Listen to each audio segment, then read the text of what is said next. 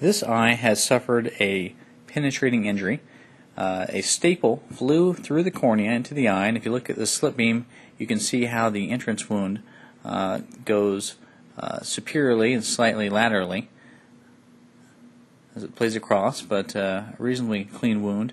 The iris is a little torn up at the 12 o'clock position, and the lens underneath is a little cloudy, so it looks like this thing uh, banged both of the structures. And if we Seidel it, this is a Seidel positive wound with a slow leak. Fortunately, it was not leaking much. The chamber was deep and was able to be treated with just a bandaged contact lens.